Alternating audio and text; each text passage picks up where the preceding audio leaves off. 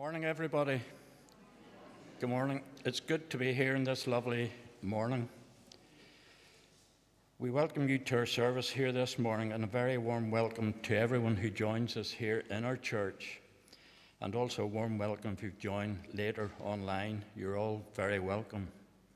We also welcome this morning, and can I introduce Aaron Anderson, who will lead our service, and Zara. Announcements. We all have order of service, and can I ask, can I draw your attention to the food bank? The food bank is always very grateful and is always very needful of whatever donations we can give. So anything that that's always given with many thanks. Uh, we also have the the givings to date, but also say that Philip is back from tomorrow, so he will be leading our services from Sunday next. You're also very welcome to stay for tea, coffee, and a chat after the service. Can I say thanks, Alison, for leading our praise? Thank you, Barton, for doing the recording, and Trevor for later uploading the service to the internet. Also, thank you to Amanda and Riona for doing tea and coffee. Thank you, Aaron, for leading our service, and we look forward to hearing from you. And maybe ask you now, Aaron, if you could tell us a bit about your work in Ballyclare. We have a few people here this morning who know where Ballyclare is, so they'll be very, very happy to hear if you can give us a few words about your, your work. Yep.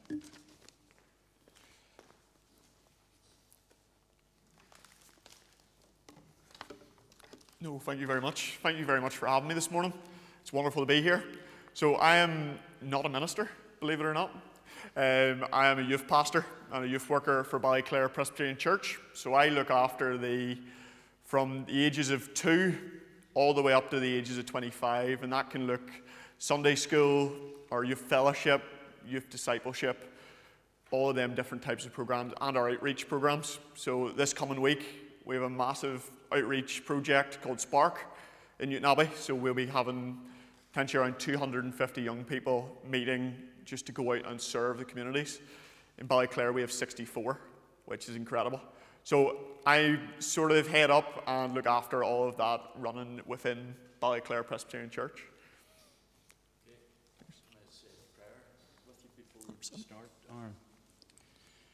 Lord God, we thank you that we can all meet here together as friends to worship and to praise you. Thank you for being with us this morning. Be with Aaron as he leads our service and guide and be with him in all the work that he does with the young people in Ballyclare. Help us, O Lord, this morning to hear and listen to your word through Aaron. And we ask this in the name of Jesus Christ, our Saviour. Amen. Aaron.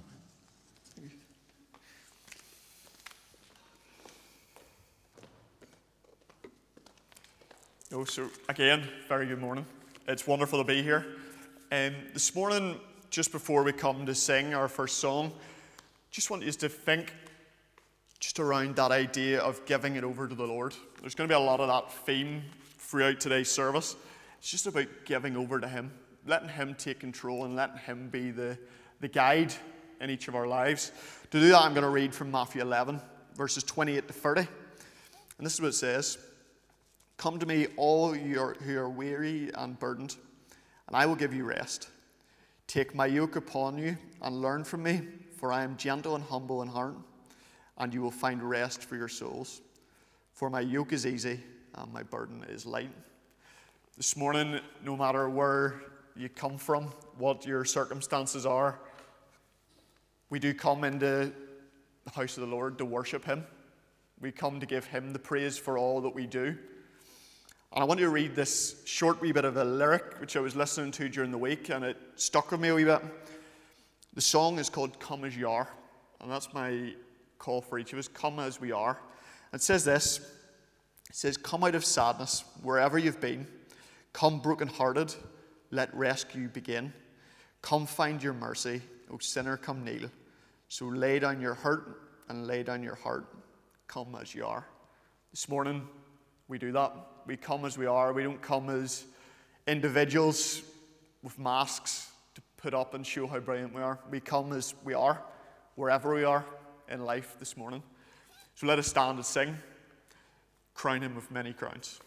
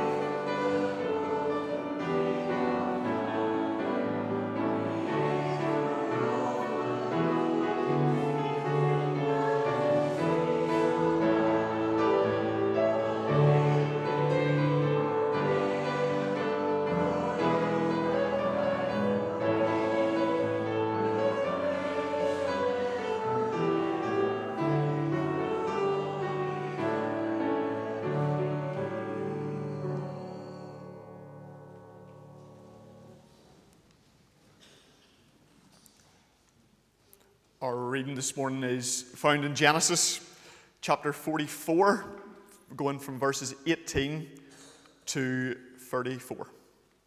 This is the word of the Lord. Then Judah went up to him and said, Pardon your servant, my lord. Let me speak a word to my lord. Do not be angry with your servant, though you're equal to Pharaoh himself. My lord asks, asked his servants, do you have a father or brother? And we answered, We have an aged father, and there is a young man, a young son born to him in his old age. His brother is dead, and he is the only, only one of his mother's sons left, and his father loves him.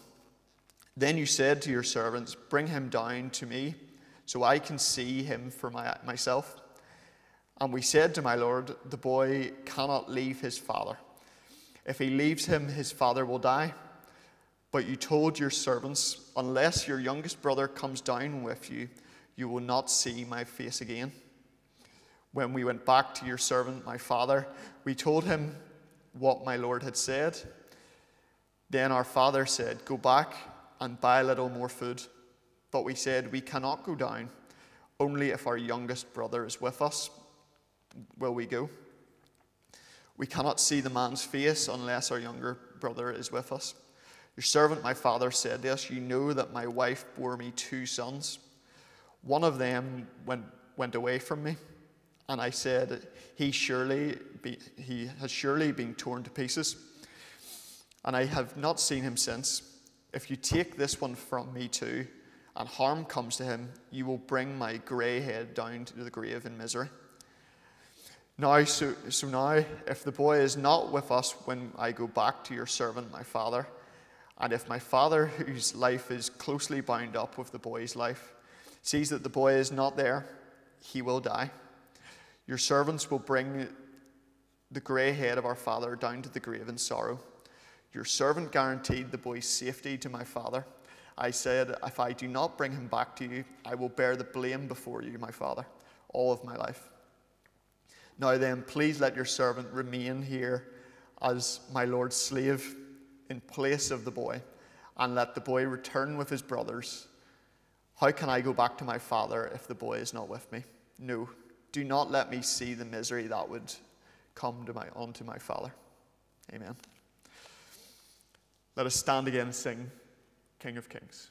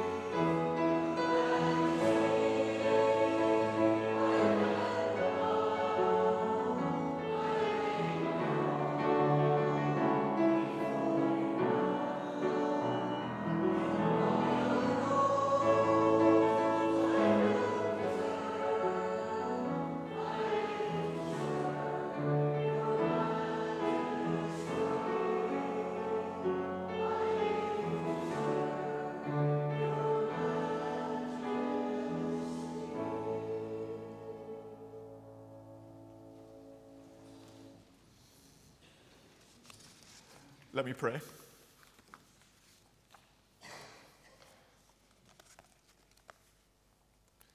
Lord, thank you this morning that we can come before you and sing your praises to you.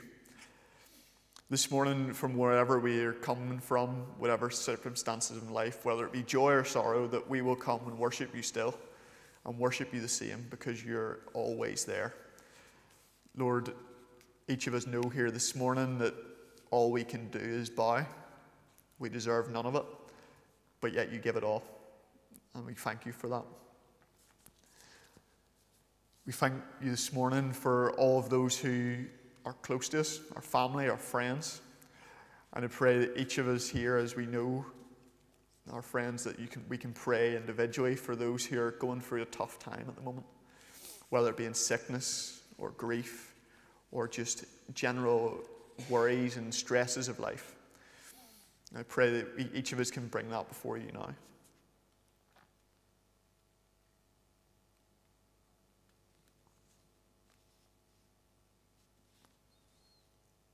Lord, I want to pray also just for our communities at the moment as they're stirred up and wound up, that you'll just give wisdom and bring peace into our communities and all that's happening.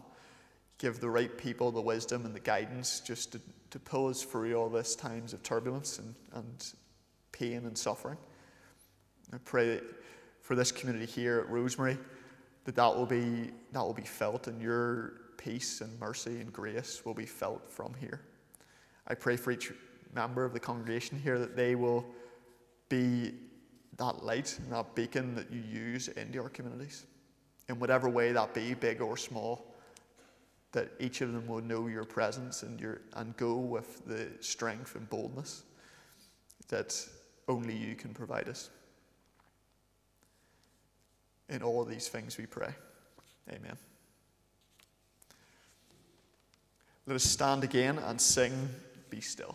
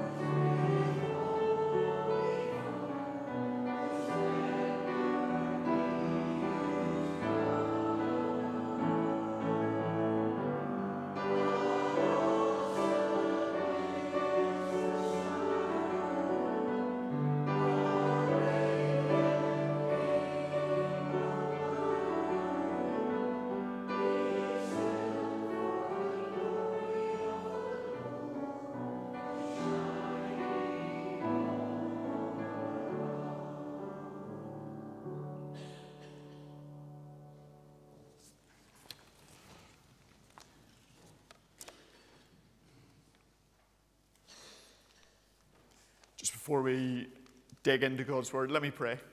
Let me pray. Lord, thank you for each one of us here. I pray that you'll open our hearts and minds to hear your good news and to be filled with just that urge to go out and share it more and share it with everyone we can. I pray that whatever comes from today that will impact each of us here, will challenge us, will encourage and inspire, and give us a sense of peace that our hope is only in you. In this we pray. Amen. This morning I read from a part half of chapter 44. We're going to take a wee bit of a trip this morning um, through the story of Joseph and subsequently what comes out of that for Judah, his other brother. But this morning, if I was to say to you, what comes to mind when I say rescue? Now, my mind goes to a hundred million things. We are constantly bombarded on our TV, rescue stories, stories of rescuing people, animals. A lot of the stories we tell kids can even be as simple as rescuing a cat out of a tree but it's that idea of rescue which brings us hope and inspires us, and it brings us something that we can really cling to and have faith in. When I was thinking about this idea of rescue, a few things popped up in my mind. Firefighters being one of them. We saw a bit of that in the news recently, which has not been a good thing, but they're there rescuing, whether it be properties, people. They're there rescuing people. Search and rescue, in the area we're in, very near to Cave Hill, that sometimes is quite a sad sight to see the helicopter looking for people. Says, but they do that job and they go out attempting and seeking to rescue. Here's another one. Doctors. I think at some stage in our lives we have been treated by a doctor. I've been treated by a few for injuries I've had myself. They rescue you. They do, they really do. And it can be in small ways or massive ways. But they are rescuers in a way. And my question is today when somebody says rescue, does this come into mind? Does Christ come into mind? Sadly, sometimes that's not the first thing we think of when we think of rescue. When I was doing this prep, that was, I challenged myself to think. And it was only when I took a step back and looked at all the other types of rescuers did I realize Christ is a massive rescuer. He is our main rescuer. And he is the, he is the rescuer in the story of Joseph. And in many ways, two people are rescued. Two people in the story of Joseph are rescued and it's God who rescues them. And it points to how Christ is our rescuer. So let's take a look at this then. We have Joseph, the first character in the story who is rescued, and he's rescued in about 100 million different ways throughout the entire story. God constantly rescues him. In the beginning, he was the beloved son, he was the son of Jacob, and he was loved, and he was favored highly above all of his brothers. He was the one who gained favor. He was treated with ridiculous amounts of respect. He was given lavish, a lavish gift, which his brothers were jealous of. And that's the point where we see the first rescue. He was sold into slavery. God's hand moved in that story. He moved to put Joseph in the right place. He rescued him from the pit and moved him into slavery, which I know doesn't sound like a massive, massive rescue, but as it works out, it was. It was enormous. God rescues him in other ways. In later on in the story, with Potiphar's wife, God holds him fast. Joseph shows that he believes in something more than himself he showed himself to be steadfast in his own moralities. And what does God do? When he is thrown in prison, God yet again rescues him. He gives an opportunity for Joseph to be used by God to impact where he is. When in a cell, he becomes a, he goes from a prisoner to a prince. Now, if that isn't rescue, I don't know what is, because I've never been a prisoner and I've never been a prince, but that jump for me is enormous. It's huge. And many of us here probably can't even work out what that might have felt like to be in a jail cell one day, to advising the most powerful man in the world the next. It probably wouldn't happen today. But here, God rescues Joseph and uses Joseph to impact where he is. And why does God do that? The last thing he does, rescues his brothers. In chapter 45, he rescues his brothers. He then becomes not the rescuee, but the one who does the rescuing. It's an incredible story of rescue. And in many ways, when looking at this story in Joseph, the parallels between Joseph and Jesus are very in your face. When we look at Joseph, he was given a vision, he was given a message to bring. What was the first instinct to do? It wasn't to listen to the message, it was to kill the rescuer, it was to kill the messenger. Does that sound familiar? So for some, that's when we look at Jesus' life, he brought a message. What did we do? They killed him. They didn't listen. They didn't welcome him as his own. Joseph's in the same boat here. And what's incredible about Joseph is that he knows this. Later in chapter 46, 47, 48, we hear about his sons. And you're going to have to forgive me because my Hebrew is not very good. I am hopeless at Hebrew, but I did have to look these up. His, one of his sons is called Manasseh. That's an incredible name. Do you know what it means? It means to pull something up and turf it away. We do that with weeds in our garden. Weeds are not good, they destroy things. We pull them up and we don't really treat them with much respect because they go straight into the brown bin. That's what it means. And for Joseph and his brothers, that's forgiveness. He took everything that his brothers did unto him and thought, you know what? That's gone. That's forgotten. I've pulled that up and it's gone. It's no longer there. So, all of the things that he suffered in his time in slavery is gone.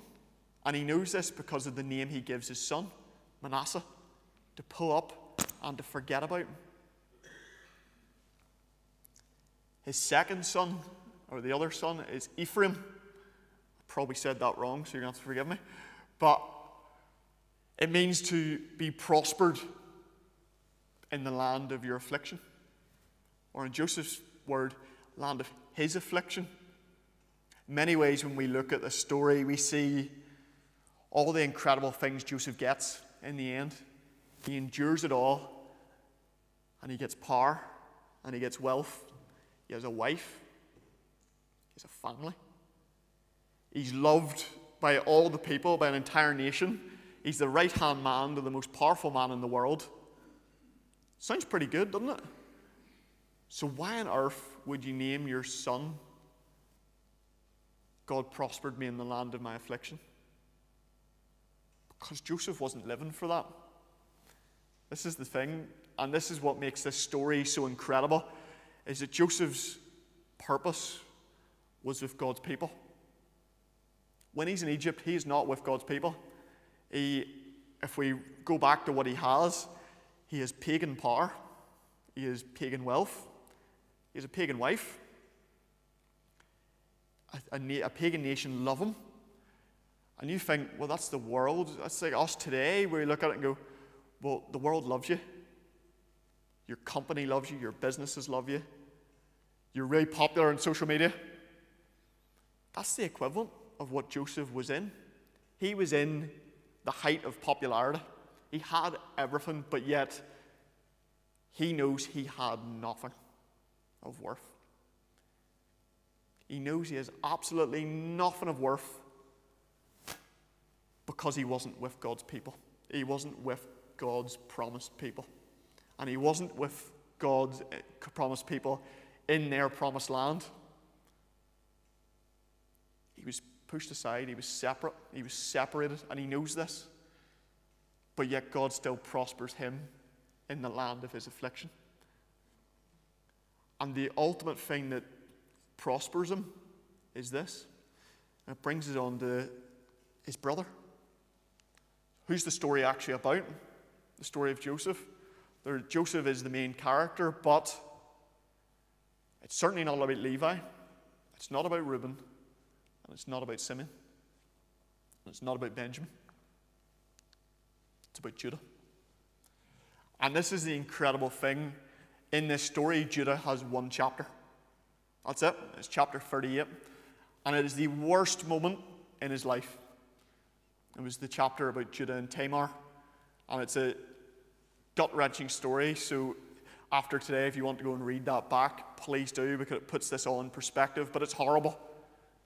He is the lowest of the low. He, is the, he feels the worst of the worst. He's completely failed. Rubber stamped, mailed, he's failed. It's like that awful feeling when you come home from a test or from work and you haven't hit a target and you get a big marks and yeah, you failed. I had a few marks of them when I was at school, a big D written on it in red letters. But so we know what that feels like, but to fail is not a nice thing. To fail is awful. Judah fails. However, knowing this actually puts it, makes it even more important. The story of Joseph and him being rescued and put into the position he's in is the only way Judah can fix that failure. It's the only way Judah can be redeemed throughout his life. It's always a nice knowing the story. There's, there's a moment where it can all change, and we see that. We see that because Judah was God's chosen. For him, there is a line that leads right to Jesus, and we'll get to that a bit later on. He was the one who was chosen. But he couldn't take up that mantle because he had failed. So, what does he do? In the story we've just read in Genesis chapter 44, he's redeemed. He's redeemed because of what he does. In the end, when in that story, it's the story of the silver in the sack, and only Benjamin has the silver cup in his sack. And Judah or Joseph says, I'm going to take him, and he's going to stay with me. The very thing that Judah was told not to let happen is now happening. Worst nightmare type feeling. It's going, oh no, I can't go home anymore. If Benjamin stays here, I can't go home. The hurt it'll cause. So what does he do? He goes to Joseph and pleads with him. And in the end, he says, Keep me in place of my brother. Why? So that he may be redeemed and my father will be pleased. And he won't, his grey head will not go down to the grave in sorrow and misery, but be lifted up in praise. This summer has been filled with sport. It's been filled with sport. And in sport, there are substitutes. This idea of being substituted or going in place of someone else is really, really important. It's immensely important. In this story, Judah is the ultimate substitute here in this story. Does that sound familiar in, um, in some ways? What's being done?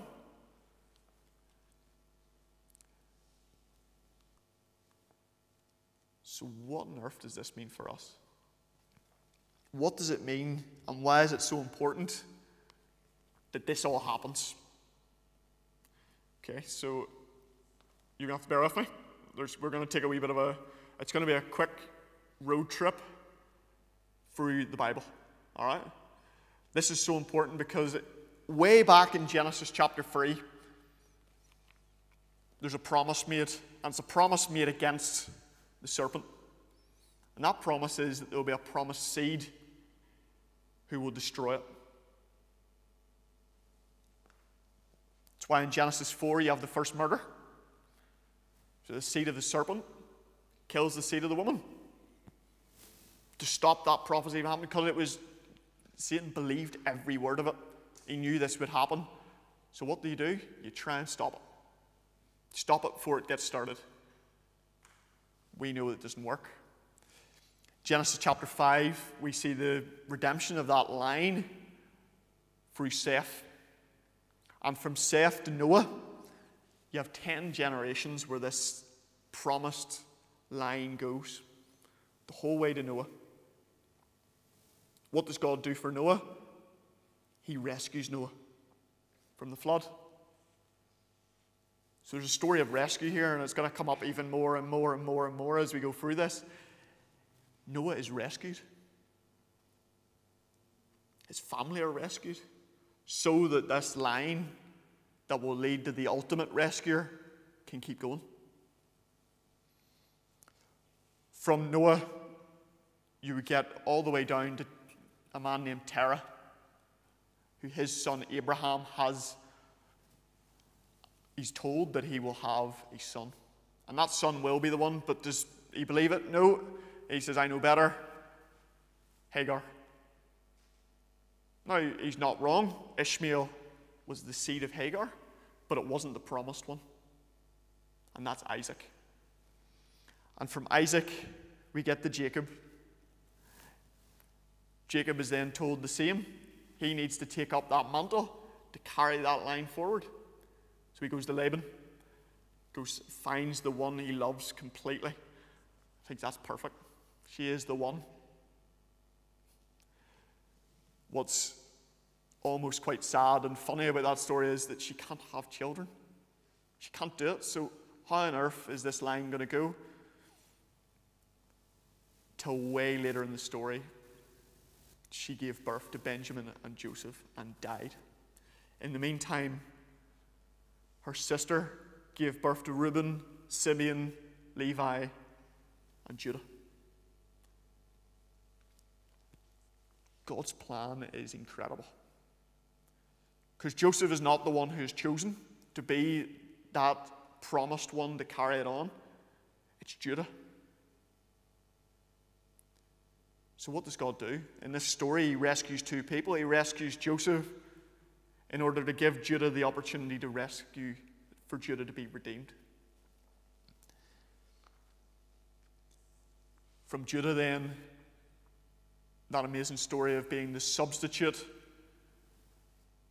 Many, many years later, you have a great, great, great, great, great grandson. I don't know how many greats there is in there. It's David. It's King David. What does he do?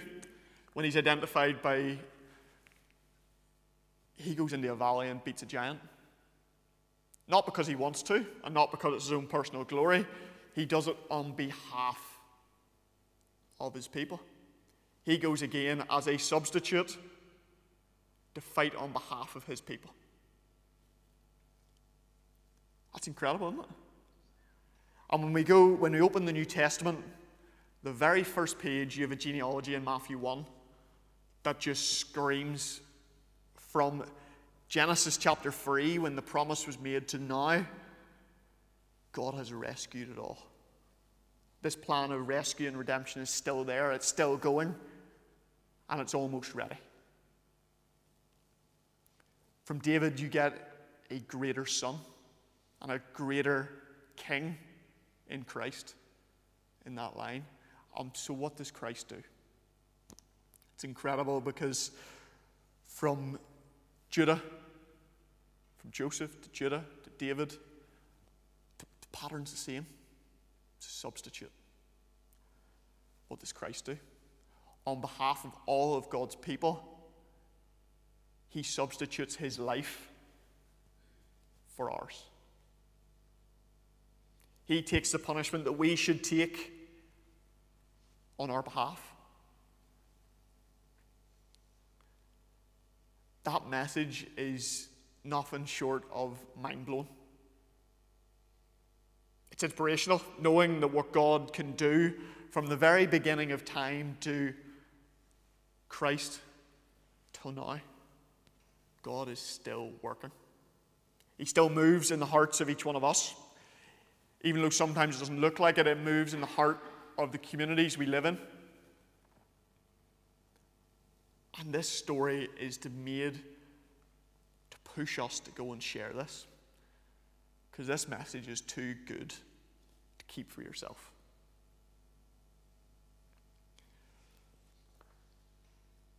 So, why is it so important? Because when you break it down, God rescues Joseph in order to rescue Judah, in order to rescue Israel, in order to rescue me and you. That's a message which is nothing short of mind blowing and humbling as well, knowing that God will do anything to protect us and to give us redemption and salvation. This morning, I want that to be the joy that you leave here with today. I want it to be the joy that you walk out of this building knowing that you're held by a God who worked through all of human history to give us what we need most. And that's to be saved from God. And for us today, in 2024, in a time that is immensely choppy and turbulent, that's a message this world needs. And that's a message we're in a position to give. Let me pray. Lord, thank you for all that you do. Thank you for the grace and the mercy that you show each one of us, even though we don't deserve it. Thank you that you work in ways that we can't even comprehend, this, to see us become more like you. I pray for each one of us here today that this message will be a message of hope and inspiration and joy and confidence. Give each one of us the confidence and the boldness to go out this coming week, month, year, wherever that may be, in work, in school, and with our friends, in coffee shops, wherever it takes us. That that message of what you've done and the saving grace that you have to give will be given to everyone who walks in and out of this church who walks down the road beside us, who walks anywhere in Belfast, they will know that grace and they will know your peace. I pray for each one of us today as we leave here. I pray for safety. I pray for just joy of what you have done again. I pray all these things in your name. Amen. Let us stand and sing in Christ alone.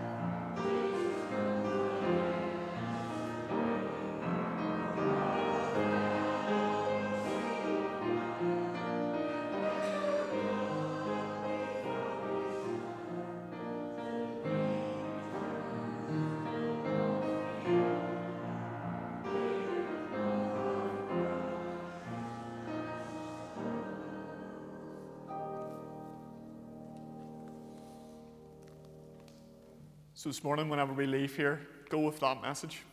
Go with that certainty that there is no guilt in life and no fear in death, because this is the power of Christ in me. Let me pray. Lord, thank you that we can go out of here today knowing with joy and hope and with complete conviction that you are here for us and you live within each one of us and you empower us to go and share your good news of what you did for us. And with that, now may grace, mercy, and peace from Father, Son, and Holy Spirit be with you and go with you, now and forevermore. Amen.